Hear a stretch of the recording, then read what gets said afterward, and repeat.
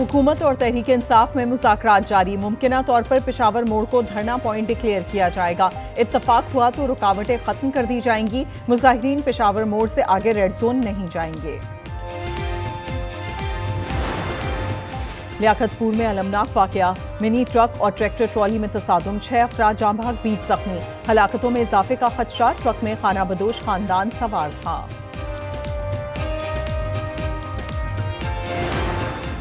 खुशाब में कार और ट्रक में तसादम। हादसे में दो खवतान समेत तीन अफराद जाम भाग एक शदीद जख्मी। रेस्क्यू सराय के मुताबिक हादसा तेज रफ्तारी के बाइस पेश आया। ईथी फाउंडेशन की इमरजेंसी हेल्पलाइन 36 घंटे से बंद। सबसे बड़ी एंबुलेंस सर्विस का आवाम से रबता मुनकता तर्जुमान का कहना है कि पीटीसीएल सर्विस बहाल करने में नाकाम है।